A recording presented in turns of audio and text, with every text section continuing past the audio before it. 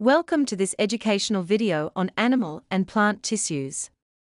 In this video, we'll break down the different types of tissues in animals and plants, their structures, and how they work together to keep organisms functioning. What are tissues? Tissues are groups of similar cells that are adapted to perform specific functions through a process called cell differentiation. In animals, there are various types of tissues, including epithelial tissue, connective tissue, muscle tissue, and nerve tissue. Let's first look at the different types of epithelial tissues, their structure, and their functions. A. Squamous epithelial tissue.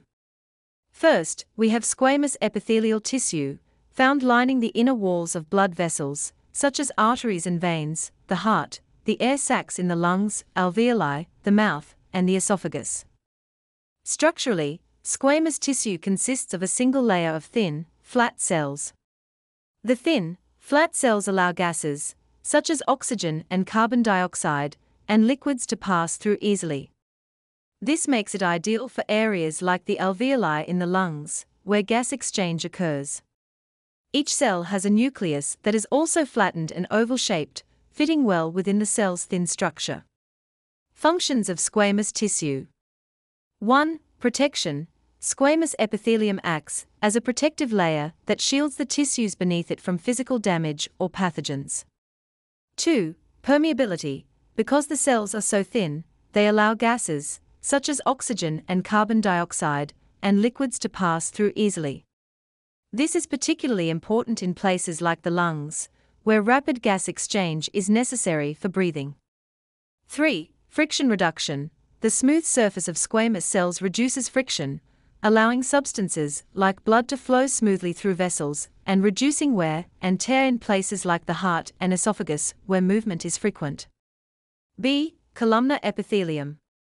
This type of epithelial tissue lines the alimentary canal, the digestive tract, including organs like the stomach and small intestine.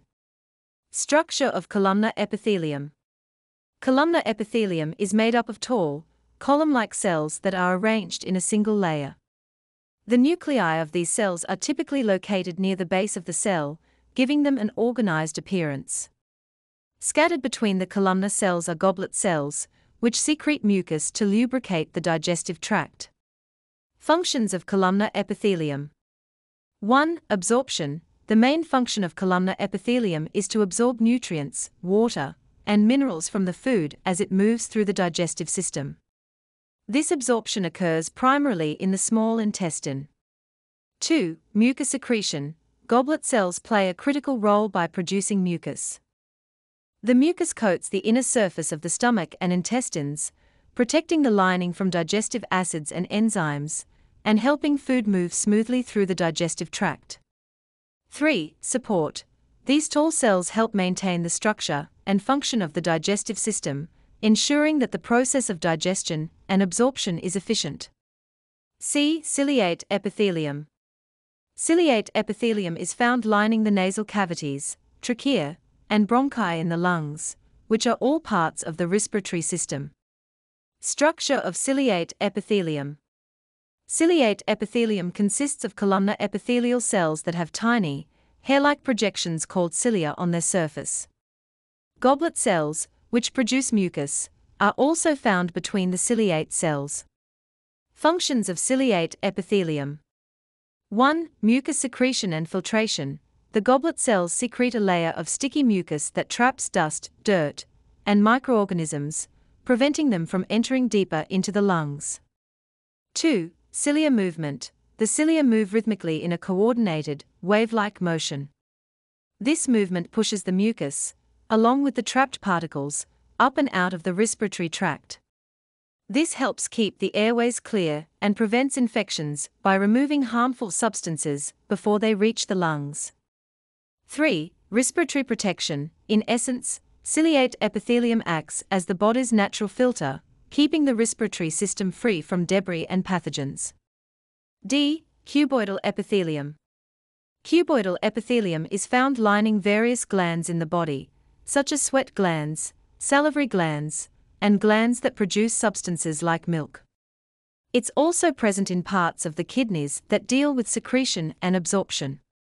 Structure of cuboidal epithelium.